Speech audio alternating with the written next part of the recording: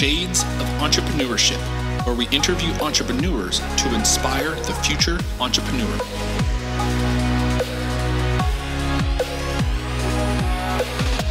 I'll be your host, Mr. Gabriel Flores. So grab a drink, sit back, relax, and enjoy the show.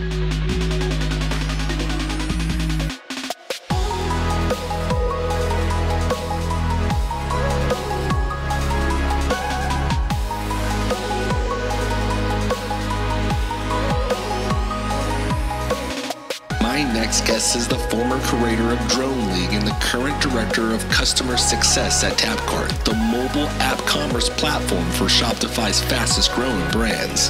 Please welcome Sahan Bharati. Hello, everyone, and welcome to the Shades of Entrepreneurship. This is your host, Mr. Gabriel Flores. Today, I have Saran Bharati. Oh, I messed up your last name. It's all good. It's uh, it's pronounced Sahan Bharati. Sahan Bharati. I'm very excited because this is Tapcart. This is actually something new, and he just told me something that's very interesting because I know folks that listen to this show utilize this uh, system, Shopify. But before we get into all that, Sahan, please introduce yourself. Yeah, um, my name is Sahan, and uh, I'm a California native, born and raised in Santa Monica. Um, I went to Cal State Long Beach for school, uh, double majored in international business and marketing, and um, really got my uh, first step at entrepreneurship in college. Uh, funny enough, I when I was going to school, uh, you know, a lot of like a lot of students, they want to have you know fun when they're in college, and I noticed myself and all my friends we were spending what little money we had to go out, chase girls, etc. And I figured there has to be a better way to do this to where I can still go out and have all that fun, but instead of spending money, uh, making money. And that kind of landed me in my first uh, uh, business that I was able to launch with a friend. And uh, it led us to do a ton of uh, promotional events all up and down the California coast, Vegas, Mexico, um, and gave us a very busy schedule on the weekends, uh, spring break, winter break, uh, for for the duration of my college career. You know, after that, um, wanted to kind of pivot into something new, uh, and decided I'm going to take a year off and travel around the world. So I got to backpack across South America, Australia, Asia, um, and really get to experience a different side of life. Um, coming off of that trip, uh, kind of came back with a very open mind and decided to get into corporate America, as a lot of people do after school, and just immediately realized this wasn't for me. Um, and had a little bit of struggles like exiting out of that role. It was kind of um, a situation to where once you're in, it's hard to get out. Um, but that motivated me to kind of pivot back into entrepreneurship. And I was able to get into a new industry uh, called drone racing, which um, people don't know. Drone racing is a mixed reality sport where people fly these racing drones that they usually build at 120, 140 miles an hour, and they wear goggles that then stream whatever the drone sees to the goggles so you can fly as if you're the, in the cockpit. Um, that eventually got a lot of media attention as drone was a big buzzword uh, at the time and um, we were able to take the concept of drone racing and really bring it to life, uh, getting uh, network contracts from ESPN, Eurosport, CBS, VC funding, non-endemic sponsorship from brands like Pepsi, uh, Dell Technologies, DHL, Mountain Dew. And so it was a great five-year run where, you know, I was able to take what I saw as a YouTube video online and bring it to life as a full-blown TV show. Never did anything like that. Was kind of learning on the go. Um, but it was a solid five year run and eventually as the novelty wears off for a lot of uh, tv ip uh, when viewership starts to segment into the next uh, big thing um, we kind of saw the writing on the wall and decided to exit um, drone racing is definitely not as big today as it was uh, a few years ago so happy with the decision and then after that i um, was kind of looking for my next opportunity and met one of the founders at Tapcart, kind of told him my story. He was like, You got to come in and meet the team. Um, I was actually going in for a sales interview. And then uh, three hours later, um, they said, Hey, like, we really like your story. Uh, we know you'd be good at sales, but we really need help with our existing customer base and given your background in uh, technology project management and just you know kind of being a jack of all trades can you work uh, on our cs team as an account manager and, and service our top accounts and um, i said sure i'll give it a try came on as the first account manager and now three years later um, you know been promoted twice. Now i'm the director of customer success and have a team of uh, 15 people that report to me. And so it ended up being a really uh, cool opportunity that i wasn't expected but um, most good things in life aren't and and it ended up working out really well. You know that's a really really interesting story because it, it was it's kind of like you went to corporate america. It's like a pendulum you went to corporate america then you went to hardcore solo entrepreneurship and then you settled in between like the startup corporate where, where you're like not the true i mean you're, you're certainly helping build this brand right uh, but there's certainly a founder you mentioned but you're still like in that startup entrepreneurship world yeah, exactly. It's definitely um, the mi- the best mix of both, where it's like super bootstrap startup to corporate America. I think Tapcart kind of finds that that balance in the middle, which is likely why you know the company has found so much success. Anytime you go too far to the extreme, um, you know, it doesn't always work for most people. And so, uh, this case, I think the balance that it provides um, has been not only great for myself, but uh, all 156 plus employees that we have at the company. Now let's talk about Tapcart. Let's let's, let's get into that a little bit for the listeners yeah. at home. What is Tapcart? Yeah, great question. So um, Tapcart is a mobile app platform for Shopify. So basically, if you're a merchant that has a website using Shopify um, and you essentially sell physical goods on that site, um, at some point you may decide to get a little bit more serious about your retention strategy and decide that instead of just having a website you want a little bit more real estate on the mobile phone maybe even a dedicated marketing channel like push notifications. So you start exploring the opportunity of a mobile app. And most e-commerce businesses you know they run on lean teams. There's not endless capital. So they can't afford to uh, build a custom app that's very maintenance heavy, um, requires dedicated developers, et cetera.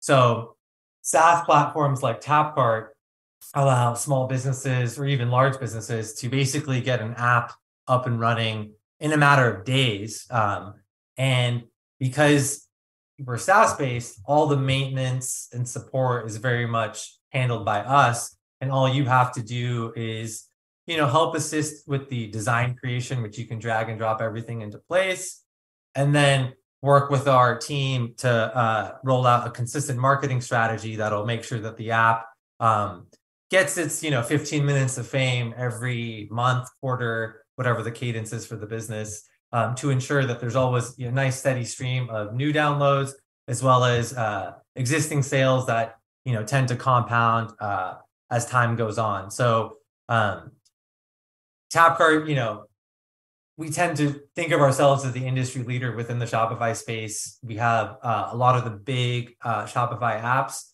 um, with brands like Fashion Nova, Princess Polly, uh, Brandy Melville, Chubbies, Um, you know, the list goes on. And so, uh, given the kind of the, I, I guess you would call it the e-commerce bump that everyone saw during the lockdown phase of the pandemic, um, that took the business uh, to really the next level because uh, so many brands were, were seeing like all-time highs and we're deciding to kind of diversify become more omni-channel present.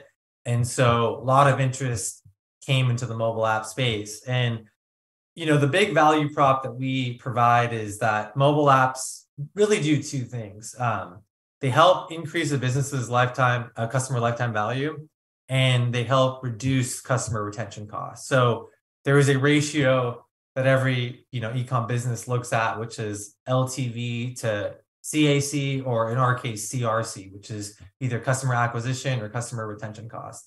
The lifetime value is how much is how how much is that customer worth, and you can quantify that. Shopify has their own formula that's been widely adopted. And then the, the retention uh, cost is really how much does it cost to actually maintain that that customer. And so most businesses look for a three to one ratio, which is kind of the golden goose of the industry. And what we found with the app is like time and time again, we would end up hitting that ratio because uh, app users, uh, you know, they tend to convert at a higher rate. Uh, when they buy, they end up spending more than a traditional user. Um, and they tend to buy more often um, than, than a standard user. So all of these metrics ended up increasing the profitability of the app user against the website user. When you mix that with the retention savings that you get with an app, so when you think about how do e-com brands retain uh, customers? Well, they can run paid ads on social, they can send email campaigns, they can send SMS campaigns. All of these things end up costing you money. And so the one thing they all have in common is that the cost is very much relative to how many people you're you're sending this message to and how often you're sending it to and um, that cost can get quite expensive uh, especially if they're not if those those campaigns aren't converting. Whereas with push notifications you can send uh, as many notifications as you want to as many people as you want and it doesn't change the fixed subscription costs um, that you pay for tapcart on a monthly basis. So this allows our customers to get much more creative experiential where um, not only can they send the transactional messages that everyone's used to so these are like sales new products etc but um, they were able to now focus on non-transactional messaging which is meant to drive more inspiration and curiosity.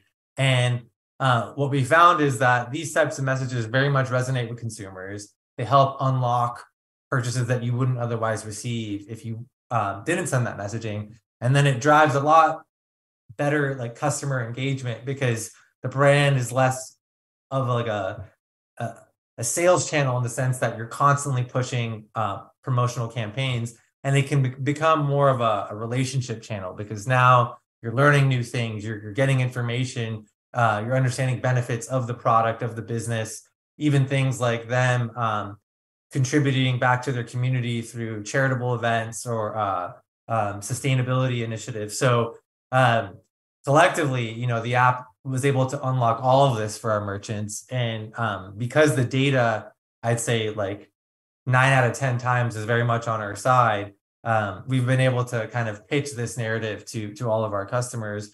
Um, and then they see it come true once they uh, launch the app, follow our playbook, and um, kind of watch the sales come in. Now, that's man. So I feel like this app kind of does really, it's like a one stop shop for folks that are truly trying to target consumers, at least, at least from the um, the the online merchant space. And in fact, I think to the, to your point, the pandemic. You know, I was talking to the owner of uh, the CFO of Baseballism, and you know what happened with their sales channels. You know, during the pandemic, they kind of had to use Shopify and things of that nature and, and funnel everything towards their online channels because all the physical channels were closed. So all the all your sales channels are gone, right?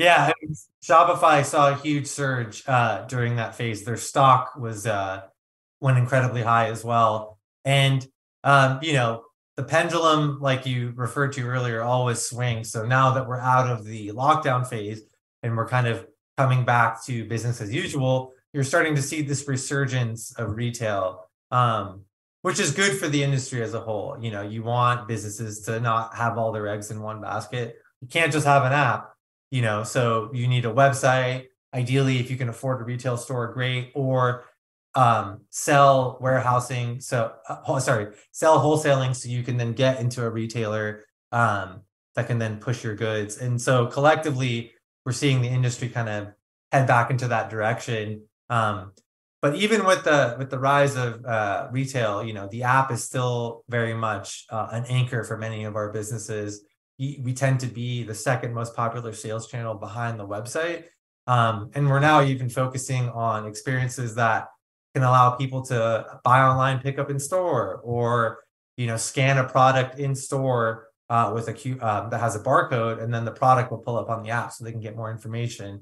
Or even using things like uh, App Clips, which is a kind of a micro app that Apple uh, rolled out a few years ago but allows you to kind of test the app without having to download it. And so you can trigger one of those in store um, for, through a variety of different means, creating um, a, a, much more robust experience for your customers. And ultimately, if they like your store and they want to take your brand on the go, they can scan that QR code, download the app, and continue shopping after they leave. You know that, that's a great point too that you made in, in regards to um, who the kind of who your target audience is, and it really is kind of almost all entrepreneurs because when you think about it, you know the the beginning stage entrepreneur, those those aspiring entrepreneurs, they tend to be the solo entrepreneur focusing on just the online channel, like myself, right? That is in fact my space that I, I primarily focus on. Now let's go back to your uh, drone days. I would love to know how did you build that brand? Like that's that's very unique because it was a you're you're kind of a pioneer without a frontier, right? So how did yeah. you build that brand? Yeah, that was a, a very well crafted uh, um, exercise in terms of like how did you get a concept like drone racing front and center? And I think some of it was just the fact that it was a buzzword and got a ton of earned media. So when we did one of our first events, which was the uh, 2015 Drone Nationals, it was at the uh, California State Fair in Sacramento. Um, we had roughly 200 pilots from around the country sign up, built this racetrack and a stadium, kind of had no idea what to expect. And I remember on day one, every news publication I've ever looked up to from uh, Showtime Sports, CNN, LA Times, New York Times, bunch of international publications. They somehow found out that this event existed, sent the reporters, showed up, and then next next day we were front page news. And from there, I kind of saw my inbox start to fill up uh, with all sorts of requests. What is drone racing? How can I invest in drone racing? Um, so much so that the Crown Prince of Dubai reached out, um, and we ended up uh, flying out there and hosting a large project called the World Drone Prix. Um, it ended up costing, I think, $17 million. And we gave away about a million dollar grand prize to a 15 year old kid who won. Um, and so when you have a lot of like big marquee uh, events like that that provide a lot of social proof, um, it does really help legitimize the idea. Uh, on top of that, uh, the the drone racing community was also very uh, active online. So it went from a couple hundred people to a couple thousand people to a couple million people very quickly. Um, and given the the uh, scale that it saw, um, a lot of the numbers, at least from an investment standpoint, look very promising. So I think if we were to like tie it all back together, it was a combination of earned media, community, uh, engagement. And then if you've ever looked at a drone race on on YouTube, you know, I, I encourage anyone to go uh, search for that after this. Um, you'll kind of look at the footage, and if you've never seen it before, it is kind of it is mesmerizing. It's amazing. It, I've seen it on ESPN. I'm gonna tell you, folks, yeah. you have to check it out. It is the coolest thing ever. Yeah. It's so cool. So, um, what it lacks in uh, being hard to understand in real time, as far as like the sport, who's first, who's not, because it's so fast paced.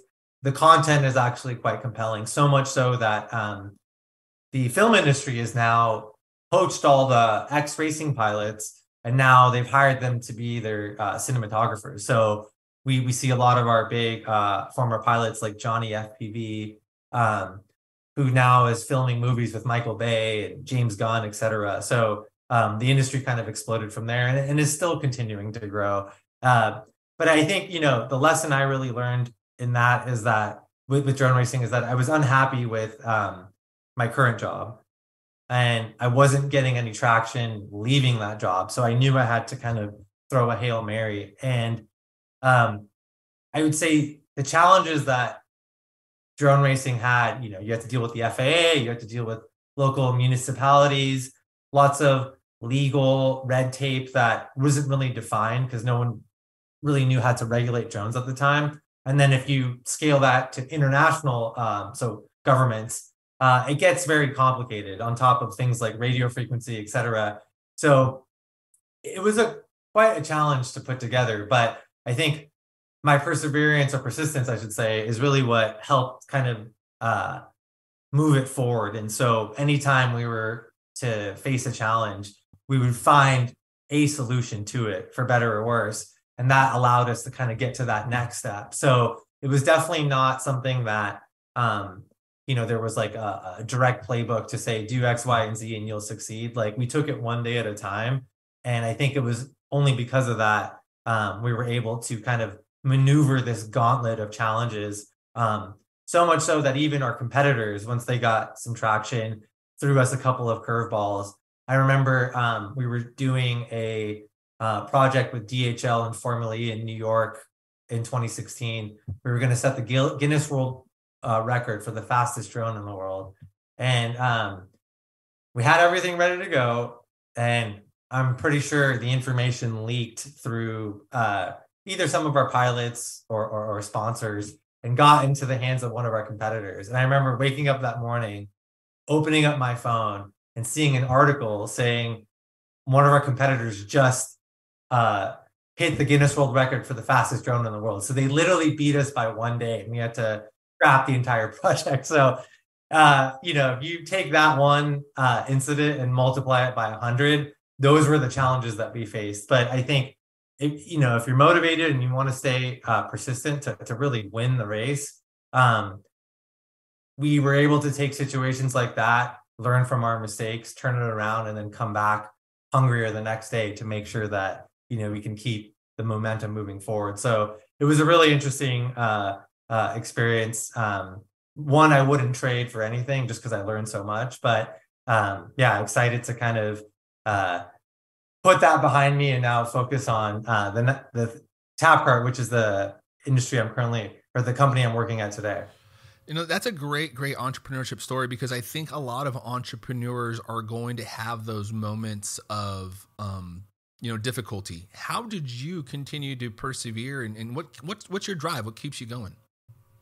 Yeah, I, I funny enough, when I was, uh, before college, I was never really a competitive person. And in fact, I you know, I, I would find myself a lot more passive. And I think once I went to college, I, I joined a fraternity, um, you know, and you put yourself around 60, 70 guys, like competition becomes oh yeah. very big. It's, it's not like the number one thing. And so i think during college and ever since i left college i was just competitive to be successful you know either um, against you know my own standards or even some of my friends.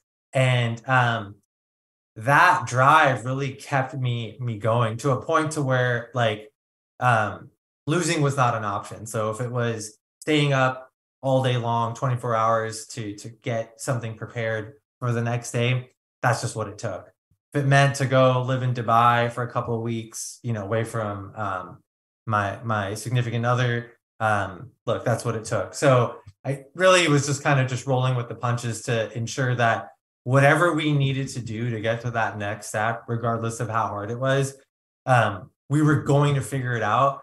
And then um, basically get to that next step. And so that I think process, like I said, helped us kind of uh, conquer these challenges one day at a time, and um, and led us to our success. And you know, I use that same mentality here at Tapcart when the company um, first launched oh, I sorry, when I first started working there and there was no account management team, I had to quickly learn what makes an app successful uh, without having any mobile app experience in the past.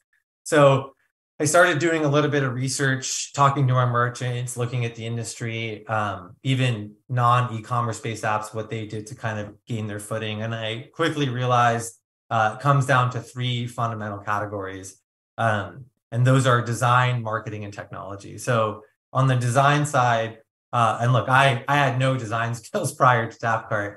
Um, I quickly realized if an app doesn't look good or meet consumer expectations, it's going to get deleted off the phone within 30 seconds of it, being downloaded. So ecom brands, you know, they're very uh, bootstrapped on time. So how can we take a good looking website and then recreate that on the app? Our customers weren't doing it on their own. And so I had to find a way to bridge the gap. So I taught myself how to design um, using an app called Sketch. And I started designing apps one by one. Um, and I got really good at it to the point to where I'd start demoing these designs to merchants. They're like, let's push this live immediately. And then we'd follow up two weeks later. and an app that was making $2,500 in sales was now making 60 to $100,000 in sales just within a two week time frame.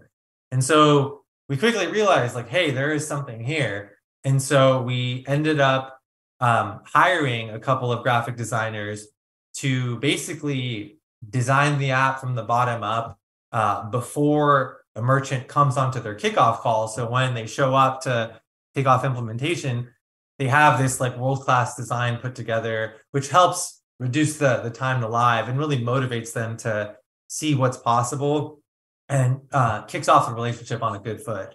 So that was a, a good lesson that was learned through you know just firsthand experience, and we were able to find a way to scale it to now every customer has this experience, and even our sales team has started to do this uh, for prospects because um, seeing is believing, and if a prospect can see a really polished app with their logo, their assets, everything, they're more likely to kind of uh, buy into that deal or, or find out more information the next you know pillar was marketing. And you know it's one thing if you have an app even if it looks good it doesn't matter if nobody knows about it. So how do we get uh, users to kind of uh, a understand that this business has an app and then provide some incentive to get them to download?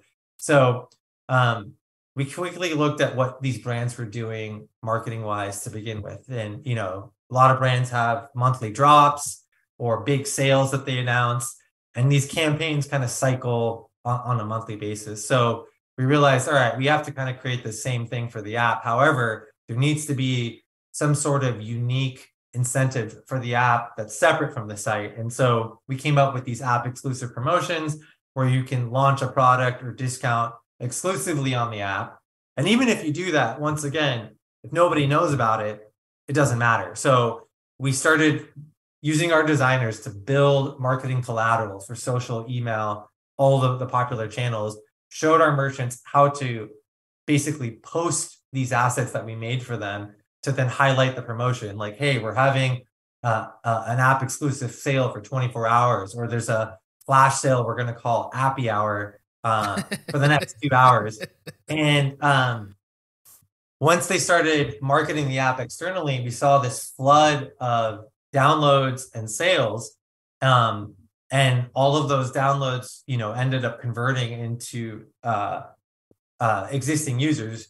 So every time we ran an app exclusive, usage would go up significantly, and then you could see the compounding effect. So an app that was making 10k a month is now making 20k a month consistently because they were able to double their users. Um, and little by little, that compounding effect started to pay off more and more. Um, so much so that now a lot of our businesses are doing 20 to 30% of their, their total sales through the app, which is great. And then finally, the technology piece, you know, that's really just making sure that the app um, is kind of best in class. You know, we obviously have other competitors out there, so our product needs to be better than them, but our product also has to be better than the website because in some ways we do compete uh, against the website because a user can go to the website or they can go to the app. So how do we make the incentive or the experience on the app better than the site? Um, that has led us through many long product discussions that has ultimately uh, led to the platform that we have today, um, which I think a lot of our customers find super successful. So, uh, you know, just to recap, I think based on talking to our merchants and kind of evaluating the market, we really found that the three pillars to success were design, marketing, and technology. And these are the same three pillars that we use today for um, you know all of our uh, new hires when we train them on the CS side in terms of what makes a successful app. And um, one thing you know from this lesson that I thought was super valuable is that a lot of these ideas came from me talking to my customers and it's only there where I learned you know these strategies are most effective and i think a lot of businesses overlook this idea of being your own customer. Um, and why why i find that to be so important is that you know many businesses they're spending thousands in some cases millions of dollars to hire these consulting firms or customer research firms to find out what they should do next. And sometimes those agencies get it right sometimes they get it wrong. Um, you end up signing a pretty big check nonetheless. Uh, But what we found, and even some of our own merchants that are in the D2C space, it's actually a lot cheaper and more effective to just ask your customers directly, what do you want to see from us next?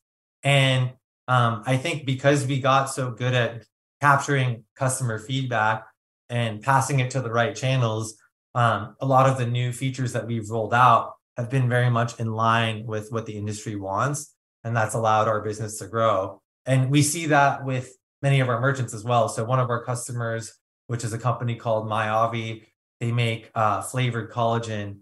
Um, they found a gap in the market by actually using um, Google to see what was trending and, and what wasn't being fulfilled. And so they came up with this flavored collagen concept that they rolled out. And once it was out and um, they were kind of looking to like, how should they diversify the product or really what is the next flavor that they should make that's going to do well? Instead of guessing, they turned to their community and asked them directly, hey, what flavors should we make next? Everyone chimed in. Uh, the community was able to vote on it. They were able to pick a winner, um, uh, a winning flavor out of the selection. And then they told everyone, hey, in four to six weeks, this flavor is going live. And then as a result of that, they had this nice four to six week like build up where everyone was getting hyped uh, for this new flavor that they were able to influence. Um, and so when they when that flavor eventually launched, it would sell out within minutes because uh, it was fully in line with what their customer was wanted. And the entire campaign spoke to the fact that they asked, they listened, and now they're giving the people what they want. And I think for a lot of businesses, you know, you don't need to overthink what your next move is or what your value proposition is or the benefits that you provide your, your customers. Just talk to them and you're likely to get a better answer than anyone who's not connected to your company would charge you a pretty penny for it. You know that's that's a great great point right there. And uh, first and foremost engaging your consumers in the way that company did to kind of really make those individuals feel that they were part of this decision making because they were right? They're part of this decision making process. And that creates that sense of um, kind of like ownership and like I now need to support like this was my decision. I need to kind of go out and that's why they sold out probably so quickly. But also just that organic marketing, right? Because now you, those individuals who probably voted on that that flavor, they might have been so in, in, you know enticed to actually go to their social media and be like, hey, please vote on this flavor that I also like right? Creating more awareness to the brand. And then it's just a very organic way to do that. But then I, I, really, I really do like that concept because I think that's something I need to probably do a little bit more here on the podcast as well. How do I figure out ways to engage with the consumer? One, but two, what do you want? right what what do you find value and this this is something you know I've talked about constantly is uh, perceived value right what what a consumer is willing to pay right you talked about LTVs right how much is going to pay to keep these uh, uh, clients right? And so it's it's very interesting how that just works out organically a small little idea like that just engaging your consumers. And so folks listen I hope you really kind of took note of that example because that is a free way for you to engage your consumers. You can do it on social media, you can do it on a podcast, you can do it on a newsletter, right? You can do it any any type of channel you choose. But it's just a re- really unique way to engage your consumers and really kind of get them um, really really become a loyal consumer. Because right, you're going down this going down the sales funnel, right? You're trying to create a really loyal customer, and that's just one way to do it. Now, what would you say? Because you you went from entrepreneurship or corporate America entrepreneurship into I'm not sure. Would you say Tapcart is a startup? Or are you pretty established? Very much, very much a startup. Okay, so you went from corporate America to entrepreneurship to the startup world. What has been difficult about that? Yeah, great question. Um, I, you know, each type of uh, career path, I think, has its own set of challenges and, and benefits, and I think the difficulty I had was really figuring out which one was right for me. Um, you know, when you start out as a college grad, um, like most kids, you know, they don't really know what they want to do. They they kind of have an idea, but uh, they don't have any experience in it. And so once you start hitting the job market, you kind of take what you can get initially to start out, um, and that doesn't always align with, uh, you know, your your long term goals in life. So I think for me, um, the difficulty was at least taking a risk by starting a job that I didn't necessarily know that if it was something I'd want to do or if it was going to work out, and then seeing what was happening, seeing what was going to happen. And as a result, um, you know, I did strike out a couple of times in the sense that like I moved from uh, my own company to this corporate job uh, after I graduated, hated it. Um, but what I learned during that that phase of my career was really just how to be like extremely professional because that's where corporate culture excels at. You know, how to be polite, how to be formal. Because I think when you work with, you know, more senior executives at larger companies, that's kind of the the culture they have. And it was it allowed me to kind of align with that. Um, and a lot of those things that I learned during that phase of my career, I still use today. Um, but ultimately, you know, it wasn't for me. And so I struggled to make that next pivot into drone racing, which ended up being a five year run where I probably worked harder than I ever have physically and mentally um, to only end up losing again because the the drone racing industry um, you know lost a lot of its novelty there was some cannibalization as well so uh, what was so tough is that at the time we all thought we had this kind of golden ticket to um, really hitting the jackpot with a concept that no one thought about and was going to be the next big thing. And for a while, it was poised to do that, but eventually, uh, the the numbers I, I would say weren't sustainable enough to kind of make it uh, a timeless kind of uh, sport or, or, or concept. And so, as a result of um, that that industry kind of imploding, you know, it sucked because I was like, well, you know, after putting all this time, energy, and money into this, I'm essentially having to start from scratch again. Um, and that's where I kind of landed into Tapcart. And I would say, out of all the jobs that I've had, Tapcart is definitely my favorite one to date, only because it's the most well rounded. The people, the culture, the product, all of that, all of those things are dialed in a way that has allowed the company to scale um, in ways that drone racing could never do um, and the the experience for someone like me who works here is far more fulfilling than anything corporate America could provide. So I think I had to learn what I didn't want to eventually land into um, what I did want. And I think you know, if you look at my career history, which 10, 15 years, that wasn't necessarily an easy journey, but I'm very happy with the destination, which is being able to um, have a really good career at Tapcart. And um, you know, the the experience has been uh, amazing thus far. Meaning, like, probably my favorite team I've worked with to date. Everyone's just so hungry for success. No one kind of slacks off, um, or or just treats this as like a job. Like they're very committed into winning. And so when you have a group of people that kind of have that same mindset, you're able to take a company from you know small amount of ARR to you know what we have today, which is um, significantly larger than when when I started. And when I uh, first started, I was the 19th hire. Now we have close to 160 employees, so definitely a, a huge amount of scale. Um, but you know that journey in itself, it wasn't easy, but um, happy with how it ended up, and I probably wouldn't change anything. Love it. Now, what advice would you have for aspiring entrepreneurs from your experience, either in corporate America, from drone racing to now with Tapcart? What advice would you have? Yeah, I mean, I think you know, don't be afraid to take risks. Um, I know I was earlier on in my career, but uh, I have found that taking risks, whether they win or, or lose, tend to be uh, some of the most rewarding things in my career because you know you you always miss the opportunities you don't take and sometimes you can be presented with a situation that can very be can be very life changing. Um, I remember when I first uh, got into drone racing, uh, I I was still working at the bank, and I had to basically take a chance of quitting that job, cutting off all my income, and seeing if this was going to work out.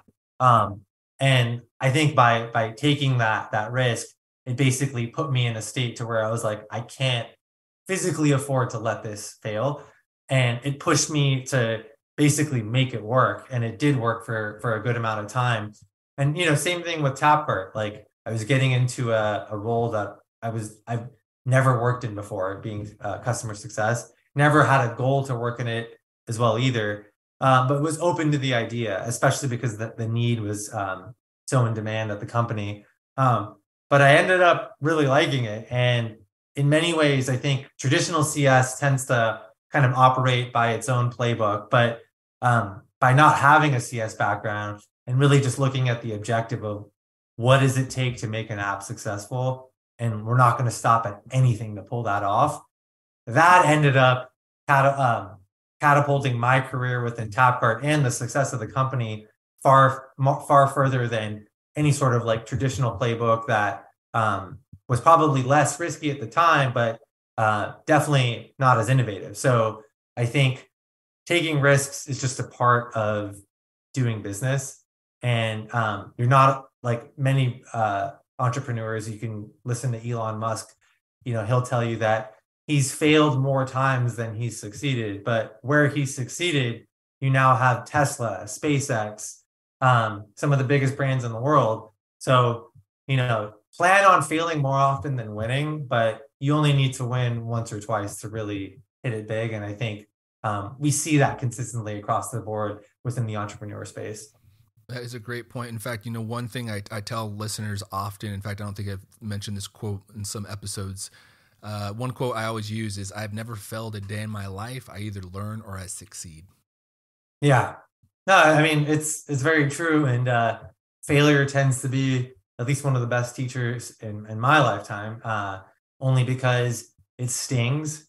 Um, and that sting is why you remember the lesson that you know uh, that that failure taught you and hopefully uh, the takeaway is that you, you've learned that lesson and make yourself better for it in the long run so that you don't repeat that mistake uh, when that scenario comes up again in the future and i think as long as you can learn from your mistakes um, you will continue to progress in a positive way within your within your business or industry. I definitely agree. Now, for the folks at home that want to connect with you, maybe they want to learn more about Tapcart. Where can they find you on the internet? Maybe social media. Where can they get in? Where can they slide into your DMs? yeah, um, definitely uh, hit me up on LinkedIn. Um, you can find me at Sahan Barati if you just search for that, um, or you can use my email at sam at tapcart.co. The reason why it's Sam is that when I started, there was another uh, employee with, that had my same name, which is a rare name wow, yeah. to begin with. And him and I, uh, he still works here. He was the first employee at Tapcart, so he has seniority. And we were on the same team. He was on implementation. I was on account management. So we would essentially like kick off and launch every one of these accounts. And to have two people with the name Sahan on a call can be quite confusing. So uh, adopted uh, the, the, nickname of Sam. Um, and so, yeah, Sam at tapcart.co. Um, I very much uh, like monitor my email religiously. So if you, you send something, uh, I'll be sure to respond. Um, yeah, ha- happy to answer any questions. Love it. Love it. Sahan Barati, thank you so much for your time. This was a great episode. This is a very good conversation. Um, I'm going to check in your stuff because I think this is I think the the you know the online area is kind of where the brand is going to be mostly uh mostly successful. I don't see any brick and mortar coming on anytime soon, although I think that might be the aspiration one day. We'll get into that. For the folks listening at home, you can go ahead and subscribe to the newsletter. We'll have Tapcart information on the newsletter. It will be there. You can subscribe at theshadesofe.com. You can also follow us on social media, LinkedIn, Facebook, and Instagram at the Shades of E. Thank you and have a great night. Thank you for tuning in to the Shades of Entrepreneurship. For more information, please follow the Shades of E on Twitter, Instagram, Facebook, or visit theshadesofe.com.